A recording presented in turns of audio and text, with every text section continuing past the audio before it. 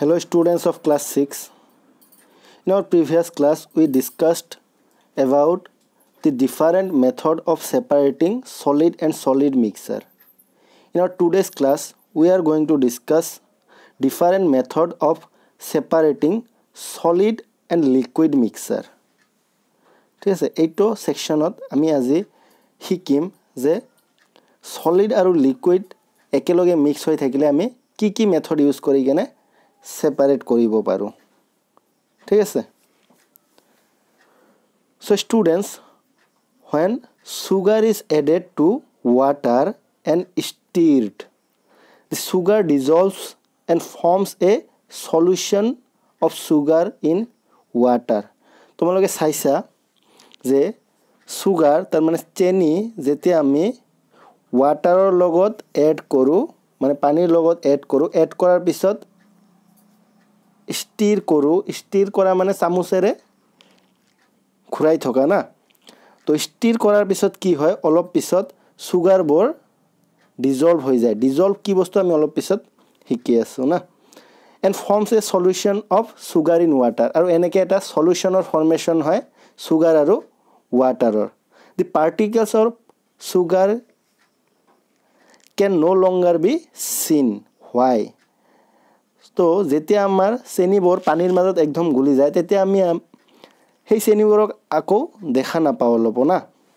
তো কেতিয়াবা ভাবিছা নেকি যে সেই চেনিবোৰ ক'ত যায়? আমি কিয় দেখা নাপাওঁ?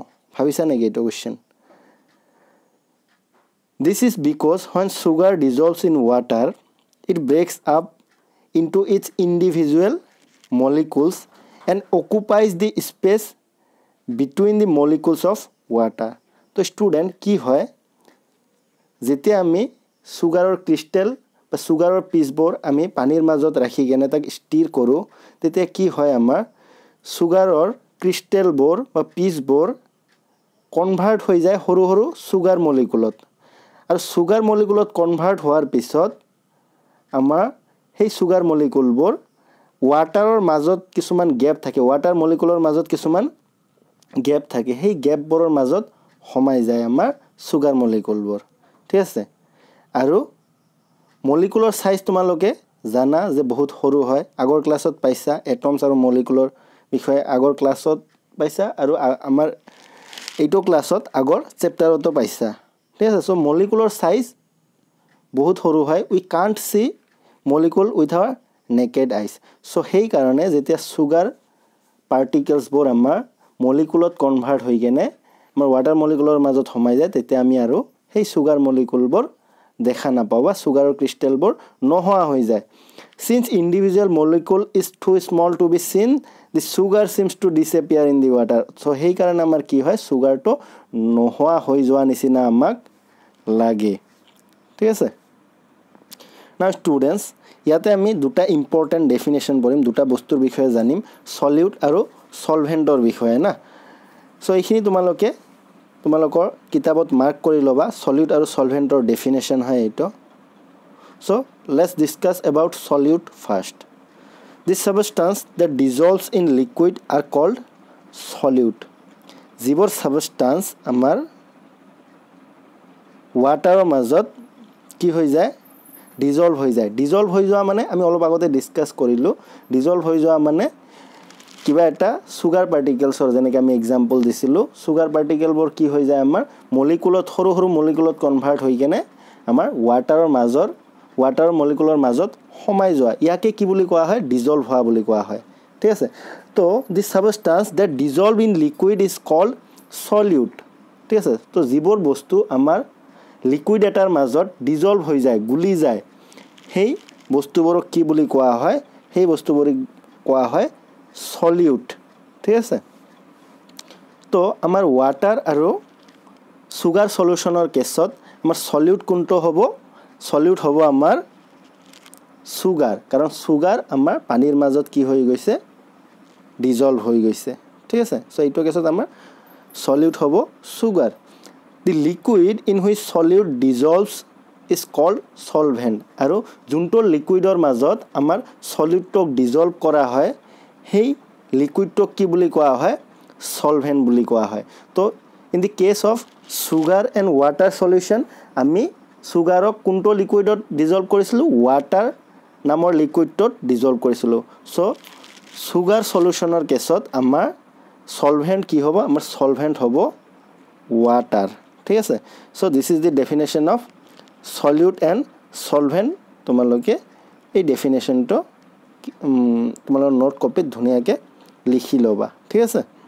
Now water can dissolve a large number of substance in it therefore water is called universal solvent so' universal solvent কি বস্তু হয় ষ্টুডেণ্টছ যেতিয়া কোনো এটা চলভেণ্টে তাৰ মাজত অলমষ্ট অল দি চলিউড যিমানবোৰ চলিউড আছে আমাৰ যিমানবোৰ চলিড ছাবষ্টান্স আছে সিহঁতক নিজৰ মাজত কি কৰি ল'ব পাৰে?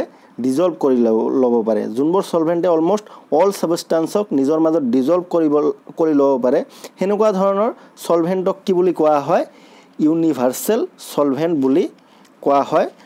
আৰু ৱাটাৰ হ'ল আমাৰ এটা example of universal solvent because water can dissolve almost all the substances মানে large amount of substance large number of substance water can dissolve in it that's why water is called as universal solvent okay now there are some substances like sugar and salt they readily dissolve in water and that's why they are called as soluble in water তো যিবোৰ substance মানে আমাৰ যেনেকুৱা example ল'লে আমাৰ salt আৰু sugar এইবোৰ substance কি হয় আমাৰ ৱাটাৰৰ মাজত দিয়াৰ লগে লগে লগে লগে কি হৈ যায়?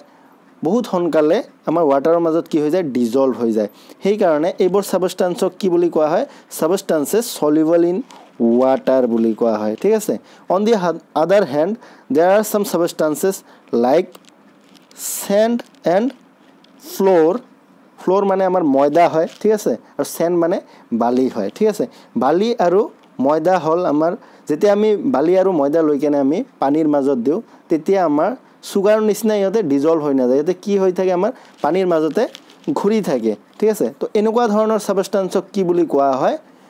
ইনচলিবল ছাবষ্টান্সেছ বা ছাবষ্টান্সেছ ইনচলিবল ইন ৱাটাৰ বুলি কোৱা হয়। So' the substances which do not dissolve in water are said to be insoluble in water সেইবোৰ ছাবষ্টান্সক ইনচলিবল ছাবষ্টান্স বুলি কোৱা হয়। ঠিক আছে?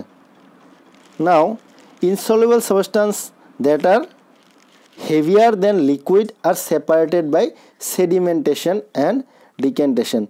So কিছুমান ইনচলিবল ছাবষ্টান্স যোনবোৰ নেকি আমাৰ হেভিয়াৰ হয় দেন লিকুইড যোনটো লিকুইডত আমি কি কৰিছোঁ সেই ছাবষ্টান্সবোৰ মিক্স কৰিছোঁ সেনেকুৱা ধৰণৰ ছাবষ্টান্স যদি আমি ছেপাৰেট কৰিব লাগে ঠিক আছে সেনেকুৱা ধৰণৰ ইনচলিবল ছাবষ্টান্স যদি আমি ছেপাৰেট কৰিব লাগে then we can separate it by the process called sedimentation and decantation প্ৰচেছটোৰ নাম কি? ছেডিমেণ্টেশ্যন এণ্ড ডিকেণ্টেশ্যন এইটো আমি আমাৰ নেক্সট ক্লাছত ডিছকাছ কৰিম। Or we can also' separate those insoluble substances from a liquid by another process call filtration filtration তোমালোকে আগে পিছে চাইছা। আমাৰ ঘৰতো পানী ফিল্টাৰ কৰি খোৱা হয়।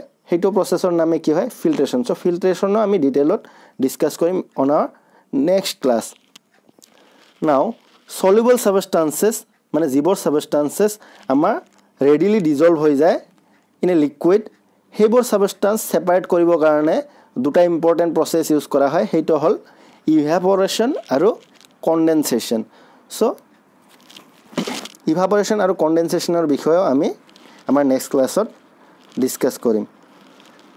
so students if you have any doubts regarding the topic we have learned today then you can ask me question on whatsapp. Thank you students. Have a nice day.